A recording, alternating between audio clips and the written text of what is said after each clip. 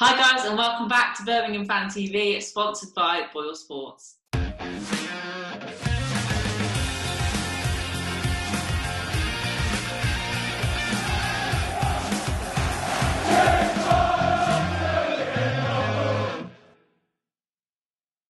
Hi guys, welcome back. Just before we get into the video, please don't forget to like this video, comment down below throughout the video all your thoughts, and subscribe if you haven't already, and we'll get on with it. But if you do like to hear our voices rather than see our ugly faces, then we are also available to listen to on Spotify as well as YouTube, so you can have the pick whichever you prefer. I always feel So- very victimized whenever you say ugly faces because I never agree to this. I never, my mum always told me I wasn't ugly, so Well, my parents said the same, but there we are. That's what parents are supposed to do, aren't they? And this week we are finally joined by Corey, who does a lot of work for our social media and our media marketing side of the channel. So, and it's great to have you on, Corey. Finally, for Thank everyone you. to see your lovely face. Yes, yes, finally. Just finally, yeah. and Corey's been working with us since March, so that's why our stuff's got a lot better since he started working with us. so, guys, let's get straight into it. Let's start with the awards, which were announced at the time of filming this evening. At the time it's released last night. Um, Duke has won the Players Player of the Season and the Supporters Player of the Season. I know my thoughts, but do you both think this is fair? Is there anyone else who you think was in with a shout other than Bellingham? um, I don't. I don't actually. It's a difficult topic because I think you're picking the best of a bad bunch. If I, if I'm being ruthless, ruthlessly honest, and I can't speak this evening. Um, it's been a pretty dire season, and I think it's pretty hard to argue against Juki.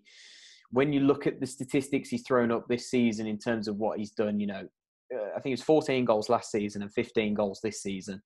Um, and if anything, he's been playing in a worse team this season, uh, but yet managed to to hire, you know, achieve a higher total. And most of the time, he's been playing up front by himself. So, yeah, I think he's one of those players that you know, despite all the hardship, he always gives 120 percent, and um, you know, it, it- it's kind of hard to argue against him considering how consistent he is as well. You know, I think sometimes what he lacks in quality he never lets us down with in in energy or in commitment. And and I think certainly for me, he should have been made captain a long time ago. Um, and I think he'd probably feel a bit hard done by that he hasn't been made captain. But I'm sure I don't know, Corey, do you probably agree with that, or is that Yeah, to a certain extent. Um, like you said, I think effort, you can't fault Dukey ever. Um, for me personally, I'd probably say Gary Gardner.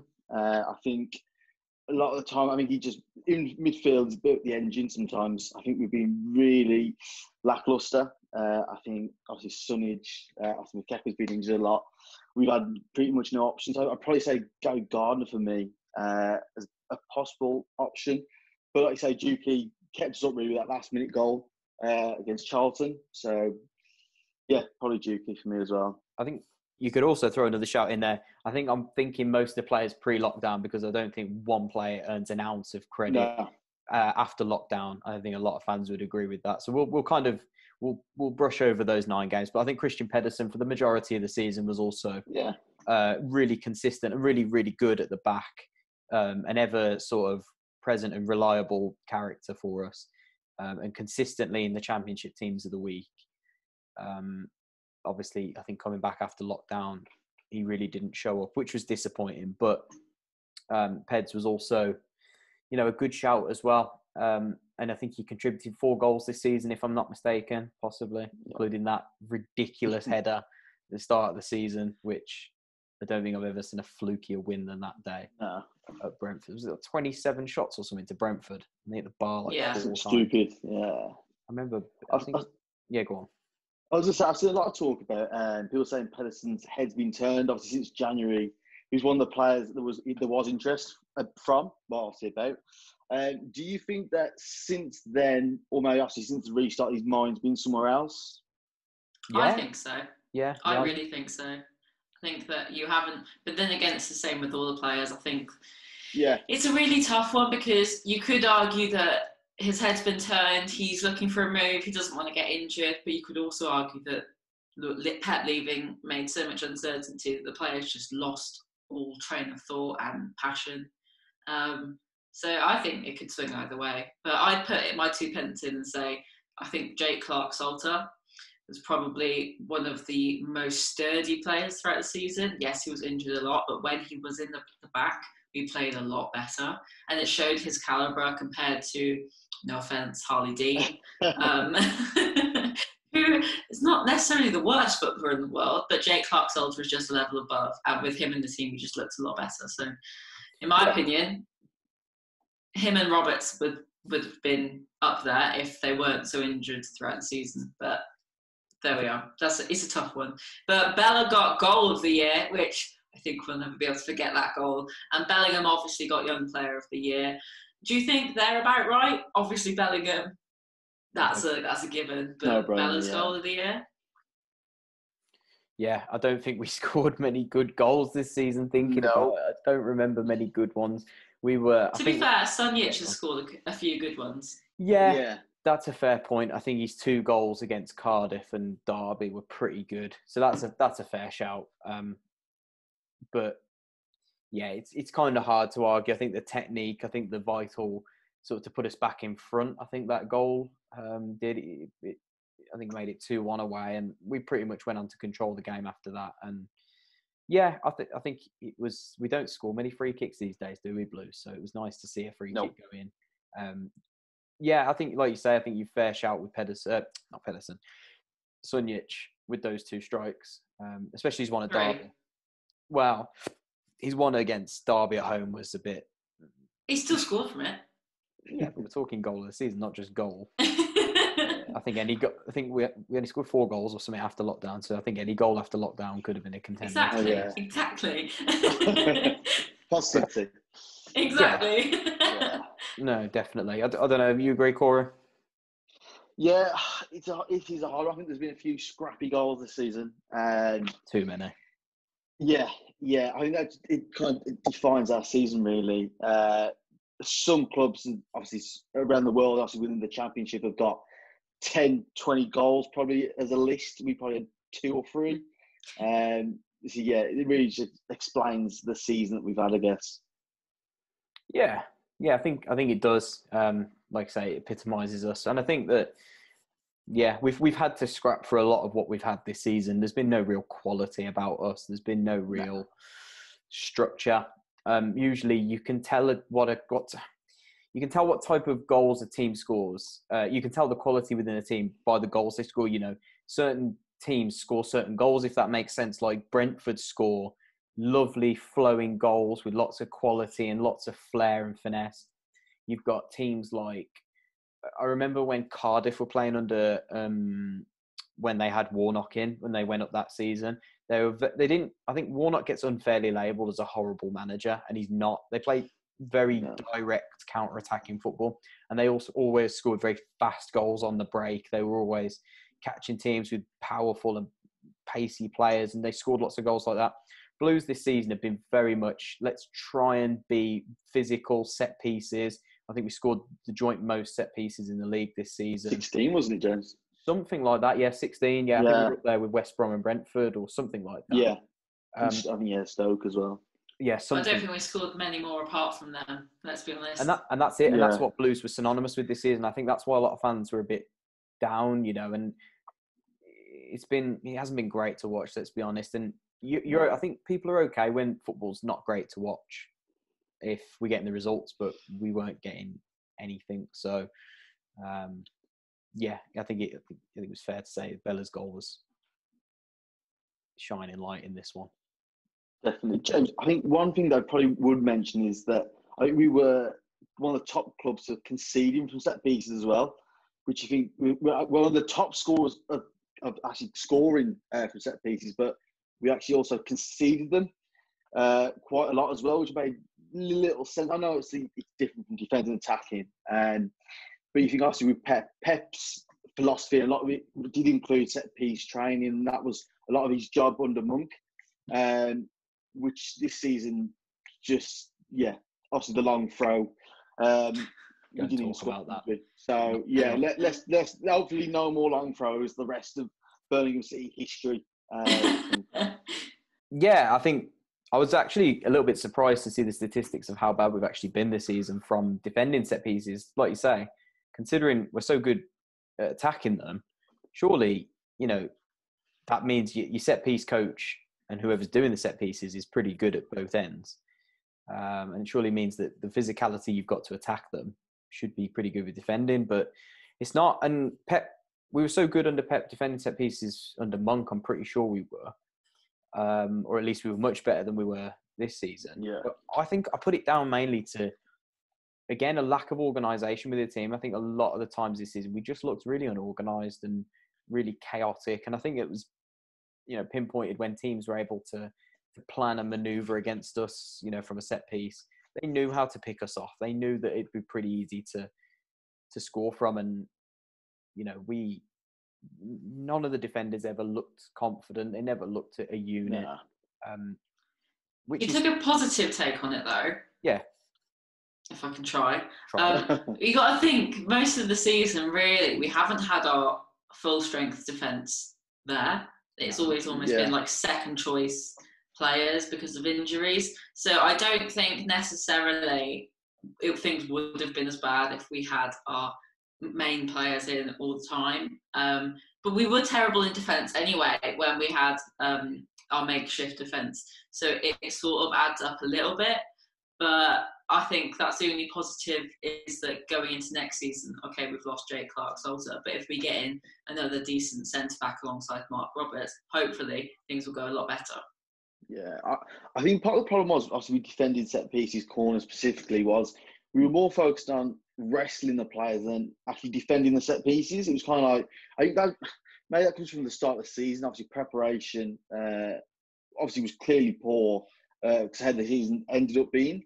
And I think obviously players that Pep wanted originally didn't get signed, or obviously all the alterations with transfers and the rest of it. And I think it just caused problems from the start. I mean, I think attacking and defending corners and set pieces was all to do with that. Um, we run out, we run out of ideas pretty quick. Yeah. pretty quick. definitely, no, definitely for sure. Um, but I think, I think most people want to want to hear about us talk about the potential incoming now. Um, so we can Yeah. put next last season pretty much to bed. Um, Yeah. I think it's important that the club move on pretty quickly because I think we can't dwell on it too much anymore because last season was had promise, never delivered, disappointing. uh, You know, resulted in a shambolic end um, that was almost disastrous. And I think that the club needs a big overhaul, a big reboot, and the fans need to be given some hope and some confidence going into next season. So, um, should we? Yeah, let's start that confidence boost with talking about someone that we have been very excited to talk about. Obviously, at time of filming, this hasn't been confirmed. If it does get confirmed whilst we're filming, we'll definitely keep the reactions in the video for your enjoyment. But Yeah. um, but if there's any, so I was going to say, is any any in the nose? Um, if you've got any sources or information, please let us know. Uh, so we can release it urgently. I wish I knew now. I'm very excited about it. Yeah, but So there has been talk, and it's been uh, posted on the BBC this morning of time of filming that Aitor Karanka is set to be announced as Birmingham City's new manager. I don't think I have to say how good of it is, uh, how good it is of an appointment for Blues. But lads, let's go into a little bit more depth about him, what we can expect from his style of play, and how beneficial having a strong manager would be for the club. Yeah, no, definitely. Like I say, if you didn't already go and watch last week's episode, um, last week's podcast, um, I spoke to to um, to Borough Breakdown um, about Aitor, everything that Aitor was about at Middlesbrough. Um, he gave us a, a big lowdown, and it's fair to say it was a pretty glistening report, to be honest. Um, obviously, everybody, every manager has their downfalls, and that's well uh, well documented with Aitor, with um, the fallings out that he he's had previously with um, Middlesbrough uh, and obviously Nottingham Forest. I think not it's not well documented sort of the ins and outs, and I think he's been a little bit hard done by with some of the reports. Um, Middlesbrough, there was things going on behind the scenes again, and obviously he plays his part in both of them, but um, it's not exactly like he throws a paddy over the smallest of things. Um, but the board do need to be careful the way they operate around Aitor um, for next season. But yeah, getting into it. Um, obviously, if you want to go and watch that one at, at Borough Breakdown, please go and watch it. It was a really, really good talk. Um, I'm sure you'll enjoy it. But yeah, Richard Wilford this morning um, saying that uh, Blues are set to announce Aitor Karanka as the, the new manager in the coming week, um, which was a complete U-turn from what we'd heard the night previous. Uh, various sources were saying that the deal was dead. Um, and it had gone very quiet. There'd been no talk all week of what had been going on, and people were starting to get a little bit, uh, a little bit jittery. Um, after I think it had been well over a week since the the, the sort of the last sort of update, and yeah, fans were understandably jittery. But yeah, Richard's saying this morning, so it's done, and and, and I'm I'm delighted to be honest. I don't think I can express my delight. I think anybody that's followed me on social media knows that I put and me and me and Corey spoken about it that the, day that Pep was sacked, I was confident that the board would chase after Karanka again. Um, yeah, I know what they want, and I know the, the pedigree that they were after. Um, and and they've tried before, so you know if he's available and he's willing to talk, of course they're going to go and chase him again. And I think Dong will be absolutely delighted to land his man third time. Third time's a charm, really. Um, you happy with this one? Um, or Corey, or or, or you was you, did you have your heart set on someone else? Uh, well, obviously you were the first person. We spoke about this ten weeks ago, uh, and before Pep was obviously resigned or sacked, uh, and you was the first person actually to mention Aitor to me. Uh, at the time, I think you, you remember I was a bit 50-50. Yeah. Um, I think, and then looking, now doing a bit of research and looking into Aitor, I think what we've got on our hands is a different perspective. We have got a manager who's not a chancer uh, which might be a bit disrespectful to the other managers we've had, but uh, we need him more than he needs us. Uh, I think that's a different perspective to what we've had a read before. Um, every other manager we've kind of they've needed us, uh, but in this situation, we were we're really in demand for him, uh, which is nice to know um, that he isn't just going to take any job. Uh, and for me, one way of seeing the, the negotiations of, of the um, contracts and obviously all the transfer agreements is that he he set on what he wants and he's he set a, a guide on what he believes is doable for the club uh, and what he feels he needs to obviously gain promotion uh, is what I can imagine. Yeah, def- no, definitely. I think that that's massively important, like you say. Um, we've appointed managers in the past where I think we've probably they they were clambering through the door to get in yeah, at, the, at, the, hot definitely. seat. I think Cotterill's probably the prime example.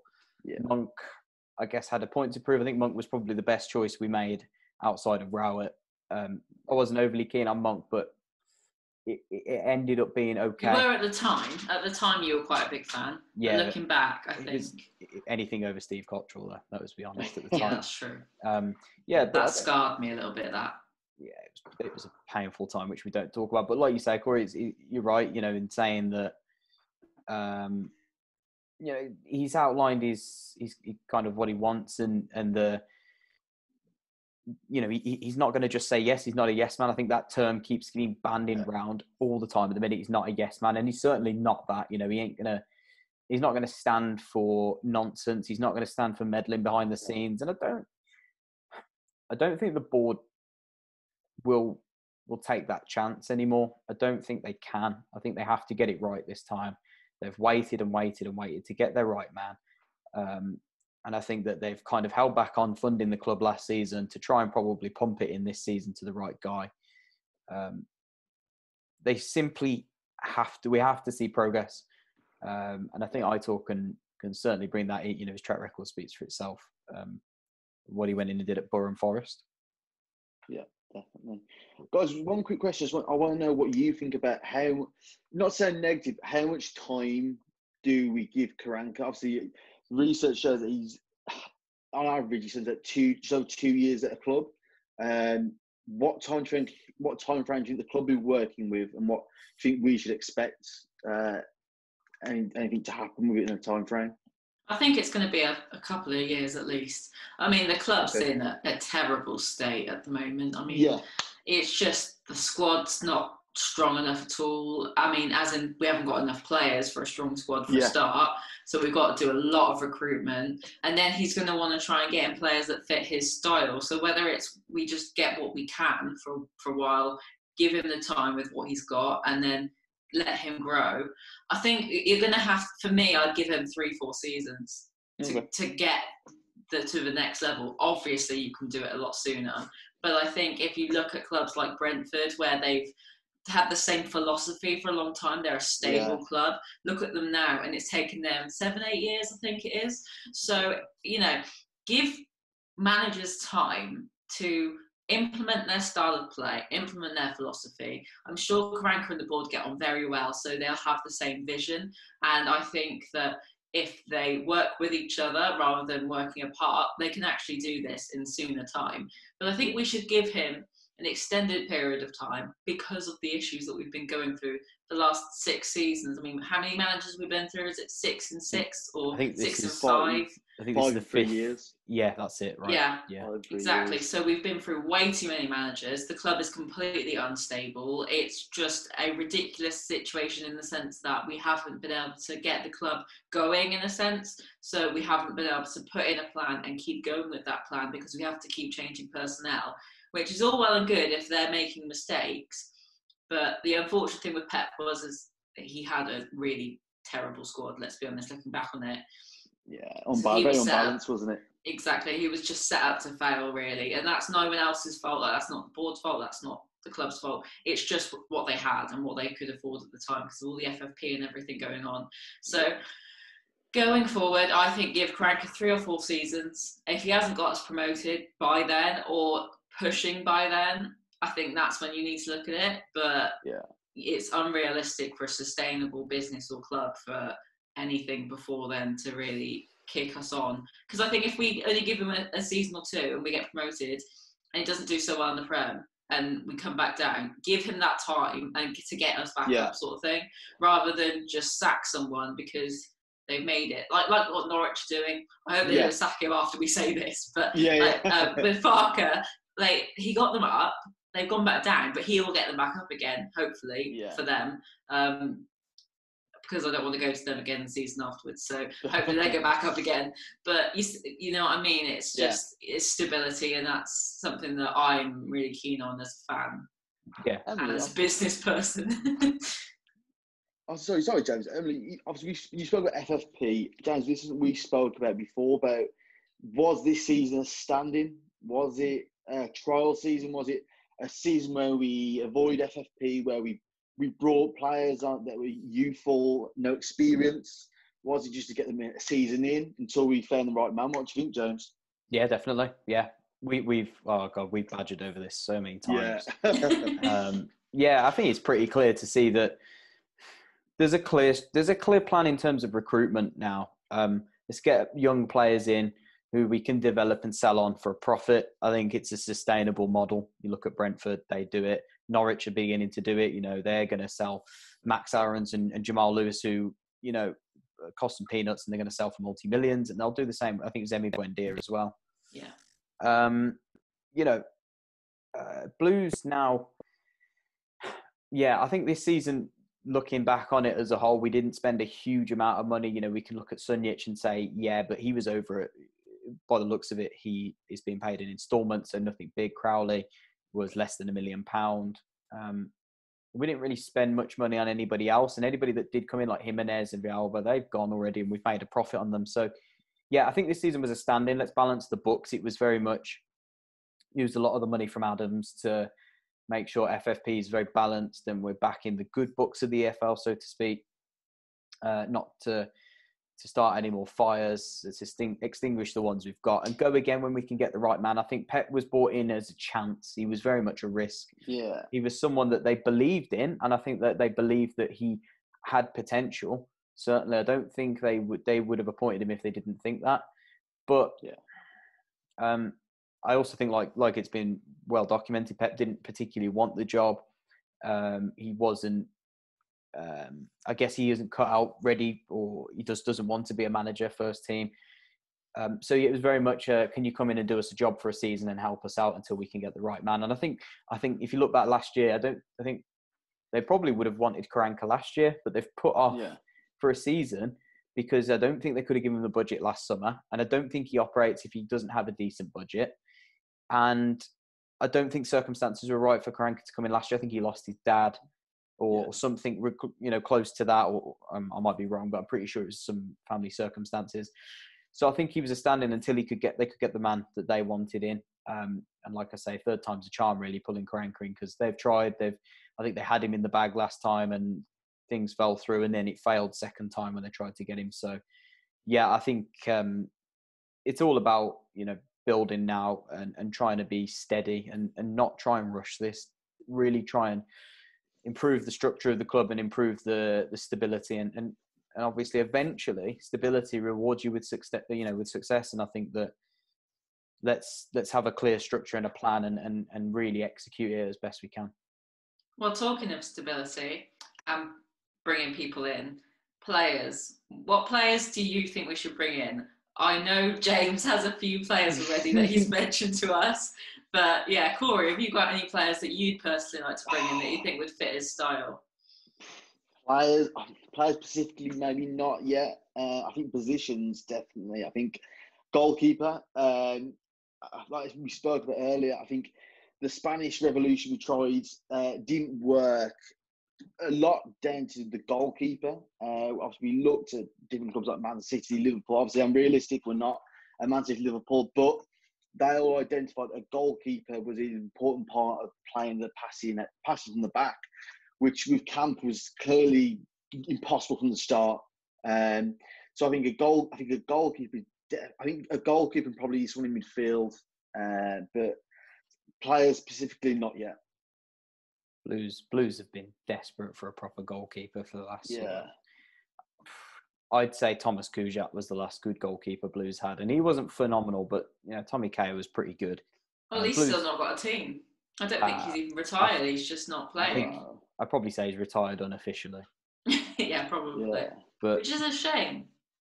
yeah, yeah, Kuszczak was a good goalkeeper and was unfairly bombed out the team, in my opinion. Um, Blues, yeah, like Corey says, we have to build from the back. You know, Blues prioritize the wrong areas sometimes, and they need to understand that to, to build a successful team, uh, Blues fans only have to look at some of the most successful teams in our recent history. Um, McLeish is the, the obvious one. I know fans are going to go, but McLeish played some really boring football.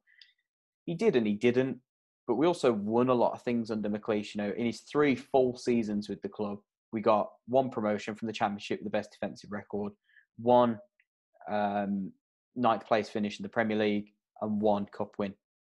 Uh, and obviously, I know we went down, but I think injuries contributed to that and various other things. But and he prioritised building a solid back line, solid back five, should we say, goalkeeper and back four, and then built on top of that and added quality in the the attacking areas. And I think it's exactly what Karanka will do. He will come in, make us hard to beat, structure that defence. Because I'm I'm looking at some of the players that we've got. Obviously, Camp's gone now by the looks of it. Um, I don't think we're going to give him that that contract. Um, he's got no goalkeeper, and he'll look at some of that back four and he'll laugh and he'll say there is absolutely no chance I'm working with some of these. Um, they're not good enough. Some of them I think can Yeah. work under him. You know, under the right manager, I think they can. I certainly think Roberts is someone that shows potential, and I think we could still see him in the blue shirt next season. Um, but as for some of the others, um, I think Pedersen might be off for money.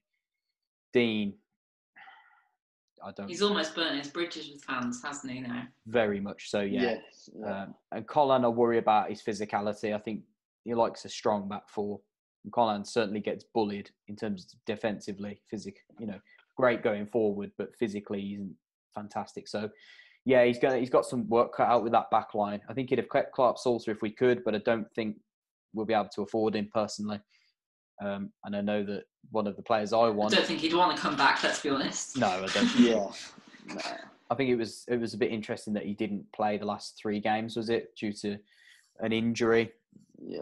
I, I, I think he probably didn't want to play anymore. To to be honest, I don't have any inside knowledge, but I just that was the vibe I got. Um, Yeah, you can't blame him for that though. It was so toxic the last few Yeah. games that Yeah. it was. It's not going to be good for his progression, his career. So you can sort of understand, but But one one name that floats around obviously I've mentioned to you about a million times right now. Oh, is- here we go. Daniel Daniel Ayala.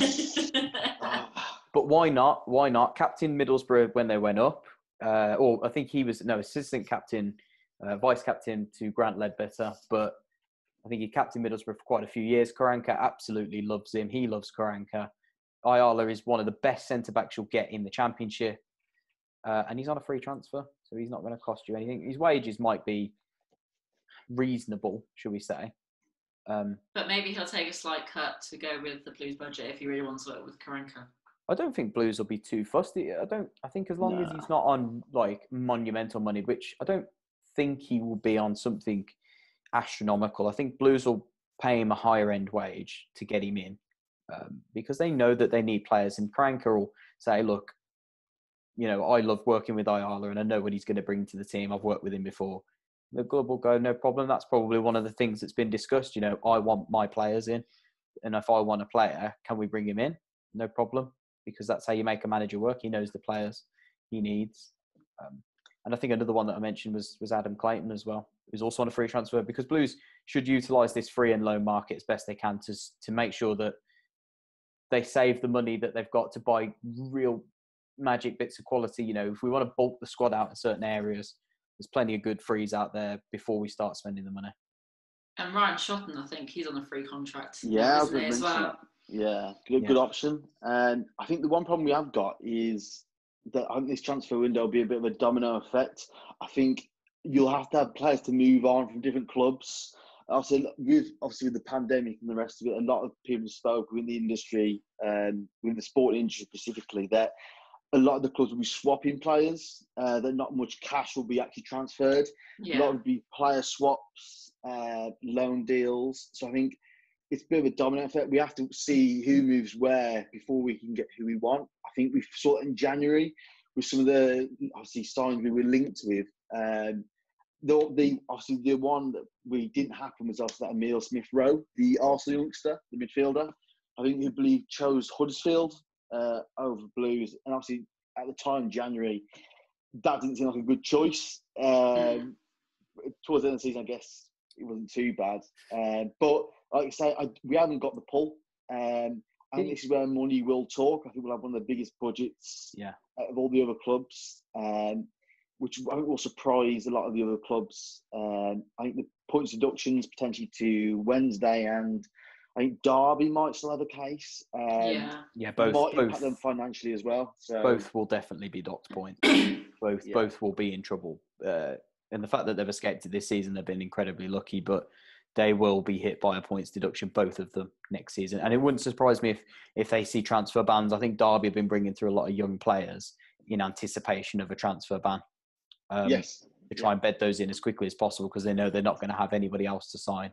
So um, I think that kind of takes them out of the race. But I think a big transfer budget can also work to your disadvantage because a lot of clubs ramp the price up because they know you've got some money. You know, they're going to say, well, why would we sell you um, this centre back for two million when we know you've just pulled in 26 million for Jude Bellingham and maybe, I don't know, 8 million if we sell Pedersen, for example? Why would we sell you this guy for 2 million when we could easily get 3 or 4 million from you? You know, and But that's when the, they need to be strong, don't they? And just say, look, if you don't, Yeah. if you don't want our money, we'll go elsewhere and find someone else. and The that board are going to have to be strong.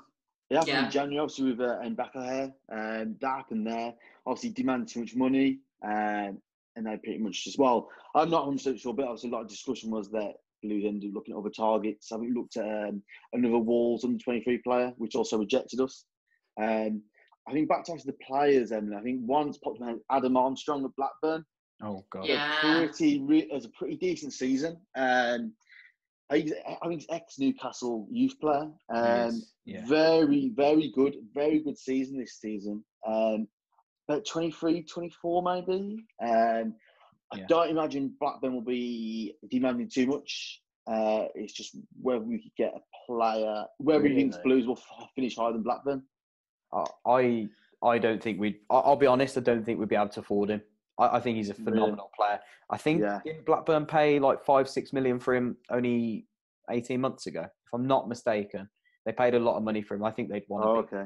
No, I'm just thinking like Yeah, yeah, yeah. It's what what I what think- they, what they're going to demand. Yeah, Yeah. I I think he'd I think he'd be a great signing for any team in this league. I think he's I think Yeah. he's hit close to 15 goals this season, um, or something close to that. He's been very good. I think he won their Player of the Season.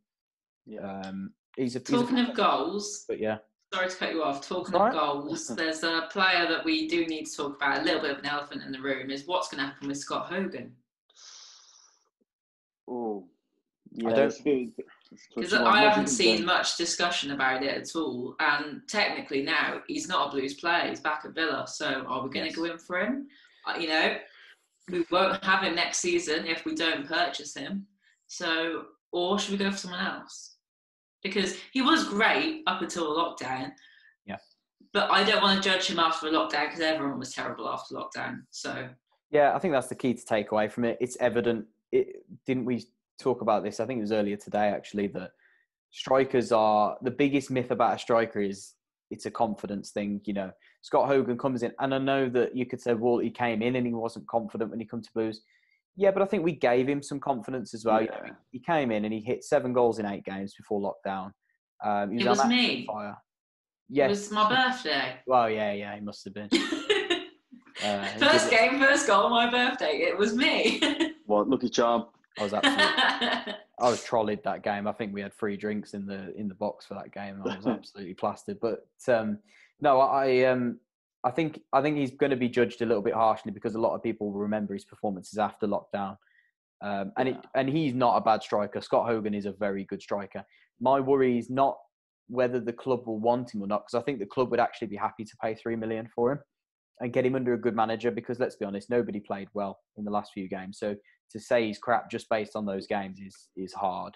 Um, I don't think Karanka will want him is your issue. Um, Yes. Karanka is synonymous with he wants pretty much the best number nine he can get his hands on in this league. He took Lewis Grabban to uh, Nottingham Forest. He had Jordan Rhodes at uh, Middlesbrough. He had David Nugent when obviously David Nugent was one of the best. He dropped down for the Premier League. Um, who else did he have there? He had Cristhian Stuani. He had it hurts me that David Nugent was ever good. Patrick Bamford, I think he had as well. He wants the best number nine, and I can see that trend following here. I can see him trying to pull in one of the best he can pull in in, the, in this division to score the goals because it's And in that case, what does that mean for Lukas Jutkiewicz? Mm, Yeah, it's a bit of a concern that, he, he- that today he could win what player this season. In, in a week's time, he could be shipped out. And that would be harsh. That would be so Yeah. harsh if he does. uh, it's a hard one because really he's, he's one of the only players who's probably followed the club's identity in one way. Mhm. Uh, I guess he's probably one of the players that the fans can relate to. Um, Yeah. He's a very good PR man, isn't he? Really? Yeah, yeah. I mean, I mean, he's been part. I think he's been part of the PR plan for the last few years. Um, there hasn't been many, there hasn't been many players to pick from, if we're Yeah. honest. Um, so yeah, it's a, it's a hard one, isn't it? It's I, I don't. I think in a sad in a sad way, uh, we need to get rid of him one way because we rely on too much.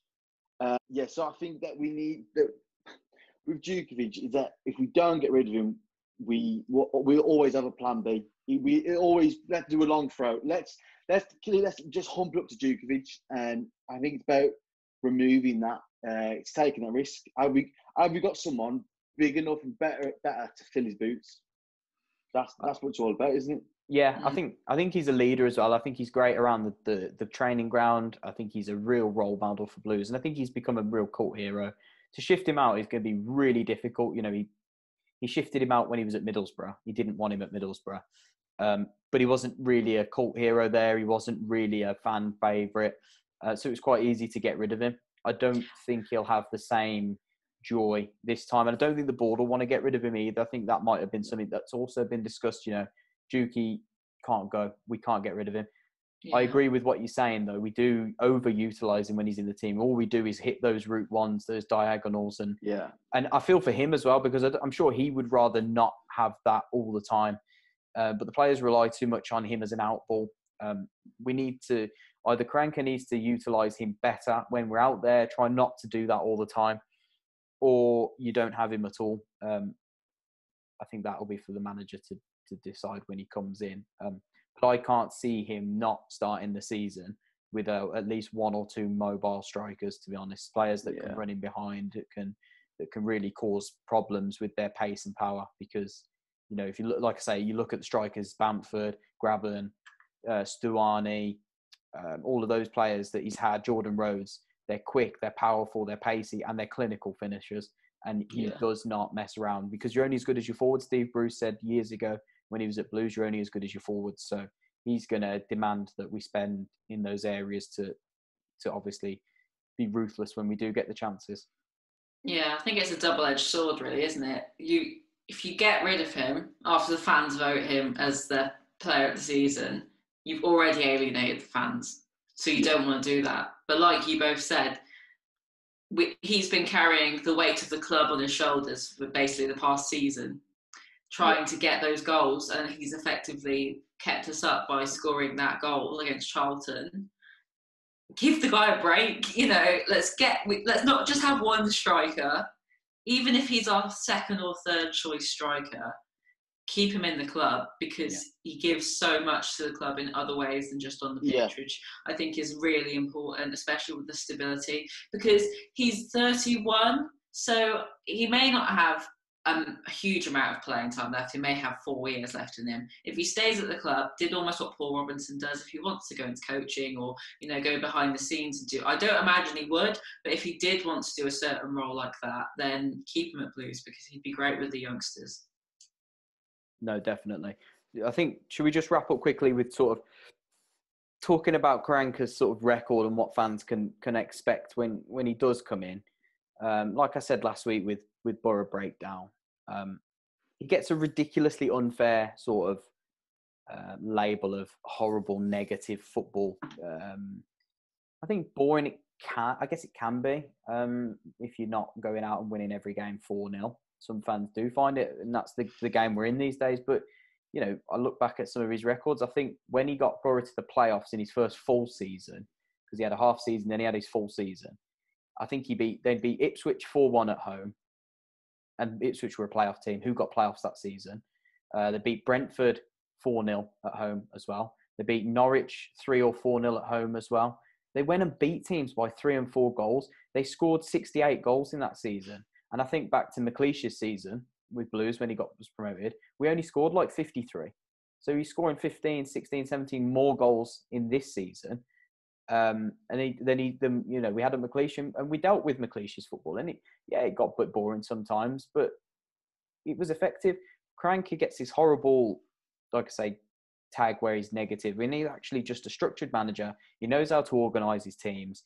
They don't concede many goals. And when they do get the chances, you know, they're absolutely ruthless. I think, you know, that's one one sort of um, label that he should be labelled is is that when them some games they might only create two or three chances. I, I was told, but they take those two or three chances. Some games they create like 20, 25 um, chances, and and they still might take one or two. So yeah, I think you say that's fair, Corey, or Yeah, I think I think it's part of that tag of Jose. Obviously, looking to read, I actually didn't know he was actually Jose's assistant at Madrid. Um, it's the same there. Uh, obviously, this week I think Tottenham did get Europa League um, qualification, and people saying Jose's boring. He hasn't got it anymore. Um, it's similar to that. That Jose's a, defensive. He isn't going to play like Man City. He isn't going to try and beat Team Six 0 He's going to try and park a bus and score one goal and win the game. Um, I think that's kind of what Karanka is kind of getting uh, by saying that. It's defensive, but he gets results. Um, I don't think it's Pulis. I think there's a spectrum. Yeah. Uh, I think we're not we're not going towards Pulis. I think Karanka is in the middle uh, of kind of the Thomas Frank Brentford, where we're passing the ball around quite slick. Uh, I think Karanka is in the middle. I think Mm. I think Blues would prefer that. I think Blues can justify um, a more defensive style of football if it's effective. yeah, It's not it's not five, ten men behind the ball like sometimes the se- last season where we had seven, eight defenders Yeah. and we were defending for twenty minutes. Yeah. you know, I'll tell you what Fulham. Fulham, Yeah, yeah. Fulham. Yeah, I'll, I'll tell you what his football reminds me of, and you might back me up here. Whenever I've watched him, and what his statistics back up is, he is a more possession-based uh, version of Gary Rowett. So Gary Rowett knows how to organise his teams defensively. There's no doubt about that. They're always very good. But looking at Karanka's statistics, you know, under Rowett, we'd have like maybe 35%. I think we averaged like 38%, which is really quite low. Um, Karanka's possession is average in like 50, 51, 52, 53.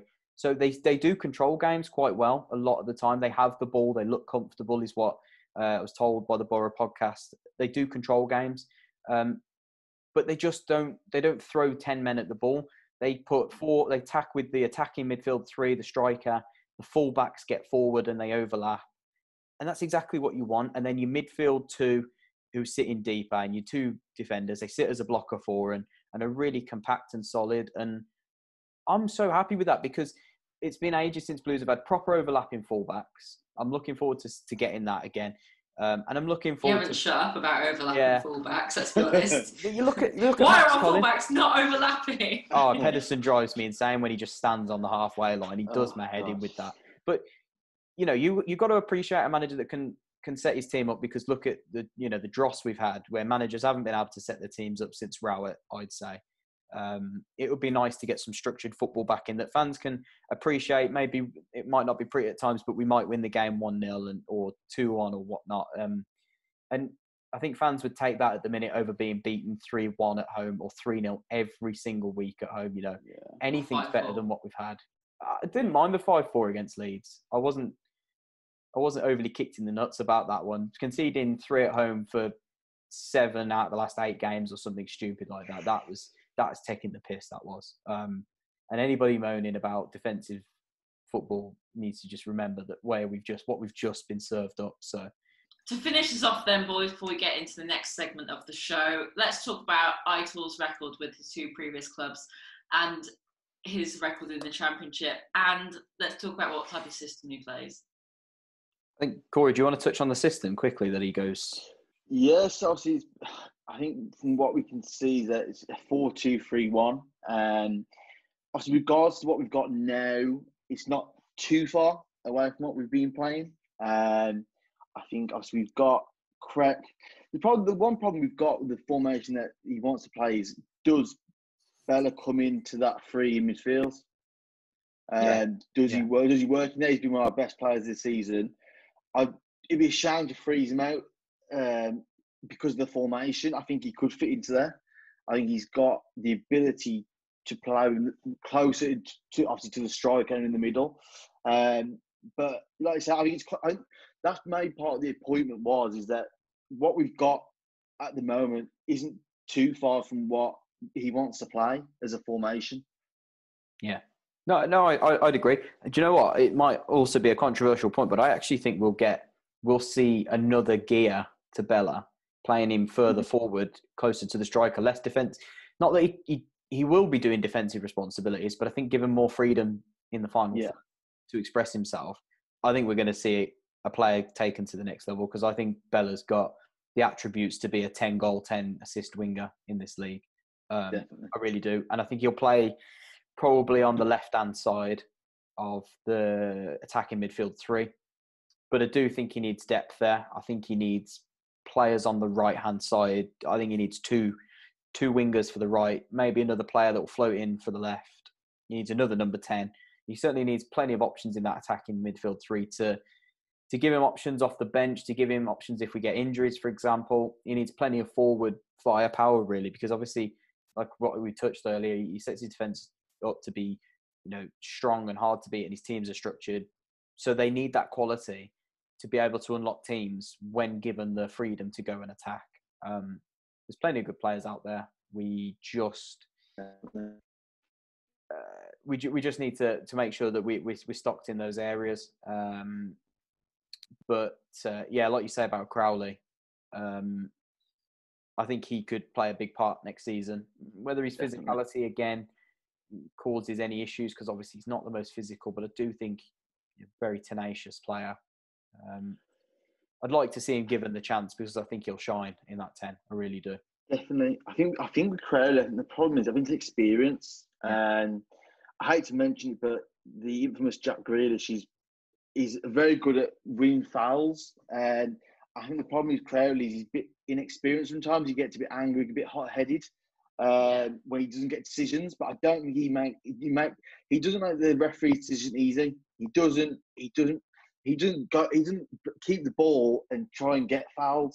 Uh, I think he's a bit naive sometimes. Um, Yeah. I think developing a bit more experience. I think again, I think with Juki Adams, we saw it with obviously James beat the work, but being less na- a bit, being less naive and having of experience, win, try and win the ball.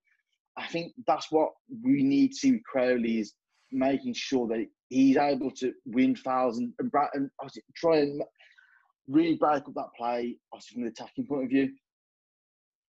Yeah, no, no, absolutely. Um, I think it'd be interesting to to see who stays, who fits the jigsaws. I think there's lots of pieces of the jigsaw missing that we're going to need to to go and find.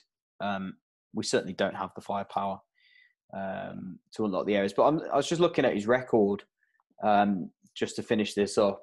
I think I did the maths the other day, and um, Dangerous. dangerous. I know for me. Um, he has a win percentage at Middlesbrough. So talk about Middlesbrough first of forty six percent, I believe, in Middlesbrough as an entirety. That including his spell in the Premier League. I worked out the maths on his Championship stint alone. So taking away the 20, 27 games I think he played or he managed them in the Premier League, uh, and his win percentage worked out to roughly fifty two percent, I believe. I don't know many managers with a 52% win ratio across two and a half seasons. I really don't. Um, I think our best manager since we've been down has been Chris Hughton. He had a, I think, 41 or 42% win ratio at Blues. We had a really good season that season. Um, I think, like like I say, you can say what you want about his football, but his win ratio speaks for itself. You know, um, just looking here, I'll read off a few of the the numbers or the figures say. So he played. This is including including his Premier League stint. He had 171 games at Middlesbrough. He won 80 games. Uh, he drew 42 and he lost 49 games. But 49 of those, obviously the the defeats 49 includes. I think it was like 13 in the Premier League. So you That's probably an amazing record, really, Yeah. isn't it? oh, it's a fantastic record. And, you know, like I said, in his two full seasons at Middlesbrough, I think they scored like 131 goals across two seasons in the full seasons. I'm not taking into account his, his half a season, and they only conceded something like 68. So a massive plus in the goal difference as well. Um, his, Nottingham Forest record isn't as impressive, but there's obviously factors behind that. He's only got a 30.8 win ratio, which isn't anything to scream about. I think it's probably closer to Gary Monk's what he had at Blues. Um, but you have to remember he took over in a turbulent time. When he took over in the January of the season before, he was working with someone else's team. Uh, I think that's where the majority of his losses came from um, with Nottingham Forest. He's in, in in his spell at Forest. He played fifty, well, managed fifty-two games, won sixteen, drew nineteen, and lost seventeen. So they seemed to draw quite a few games. I think he was trying to be very resolute and, and defensive. But uh, I think if you look at um, his, his record when uh, he had his full season and when he brought his own players in, it was very impressive. I think he only lost five games up until the, the January where he did leave. So from the, the summer to the January, you know, I think it was five defeats anyway. I will work it out. Just a quick, just a quick one, Jack. I think actually, Emily, I think, see, I think with Karanka, I think he's guaranteeing us a top ten finish. Uh, I think the 15 to 20 percent win ratio compared to the managers we've had before, uh, is going to put us up to the up to that playoffs round 10 position. Um, like I said, the relegation positions and the playoff positions were about 20, 25 points this season. Um, and that, that's where Karanka's win ratio, that's where it better gets you. I imagine a finish between 12th and probably around the playoffs. Uh, and that's what we want. That's the ambition, isn't it? Yeah. Yeah, I think it's not necessarily get promoted straight away. I think with him coming in, like we mentioned earlier about stability, it needs to really be, we need to be pushing for at least top half next season to make any progress on. We've been stuck around that 20th place mark, really, let's be honest, for the last couple of seasons. And Karanka would be the perfect person to come in and just boost us even that tiny bit to get us to a place where we've got solid ground where we can improve on and just go from there. So I think him with the win, win ratios that he's had at his previous clubs and the drawing as well compared to the losses. I think if you look at if you isolate the wins and draws into one and look how many he lost compared to the other, he actually didn't lose that many, in, apart from at Forest. But if you look at them as a whole, his loss percentage is a lot less than the other two. So I think that's, that's something right. that's going to definitely benefit us because a lot of our games in the last season, especially, we were playing really to try and win rather than to try, try and draw, and then that put us on the back foot and we ended up losing. So that's something that he's obviously going to overturn and hopefully make us more resolute and yeah. stronger going forward from the back. So yeah, I completely we agree. I think Definitely. he's going to be great. We were running before we could walk. I think yeah is the best way we could put it. We were trying too hard to go batter teams when we really needed just to be strong, resolute, and then catch teams when when we knew we could. We weren't doing that, and like I say, yeah. So as I was saying, between sort of his, his record at Nottingham Forest, um, once he'd got his team in, you know, it's hard to judge a manager when he comes in in the January. Between the the summer transfer window and the January first, where he was or he left or he sacked. I think he left. Um, is the official story. Uh, he left just after they beat uh, Leeds four two at home. Um, he'd only lost five games that season between the obviously the summer and then he'd only lost three games between December and the summer, wow. which was a really good record. They actually won nine games, lost five. I think they drew like seven or eight, so it was a few, maybe a few too many draws for his liking, but yeah. still nine wins. You know, when you think Blues only amounted to twelve wins this whole season, and he had nine wins by January the first, and he had them in seventh place when they obviously they left. And I think there's a reason why he left. I think he had the goalpost changed by the owners at Forest, and I think you know various things went wrong. Um, but his record speaks for itself, like we've said before. Um, yeah. And we know what we're going to get. Nobody's expecting promotion this season, but certainly team we're expecting, um, you know, an improvement on sort of the dross we've had over the last three or four seasons, and hopefully a little bit of you know excitement back into the club. Okay guys so that just about wrap but thank you so much for watching guys. It's been another long episode but a lot to talk about. There'll be plenty to talk about i'm sure. Next week um, when i'm sure aitor karanka will be officially the new birmingham city manager. But corey thanks so much for joining us. Emily unfortunately has had to, to zip off no. um, from that one. Um, obviously relive a, a, little bit of a busy life so she's had to to pop off from that one. Couldn't uh, couldn't even wait to end this one with us but oh. uh, Tell me about it. If you are listening on, on YouTube, don't forget to drop us a like and a comment and let us know your thoughts. Are you happy with your managerial appointment? Are you happy uh, with how the club have gone about this and, and the di- direction that it looks like we're going in at the minute? That would be uh, great to hear from you guys as always. If you are listening on Spotify, drop us a rating and a comment as well, just to try and help us out over there. If you're not already following us on socials, don't forget to go and follow us there with Twitter, Facebook, Instagram, whatever you want. We are on there. Um, just to obviously keep you up to date with everything that's going on. But thanks so much for listening, guys, and we'll be back again next week for another episode of the BFTV podcast.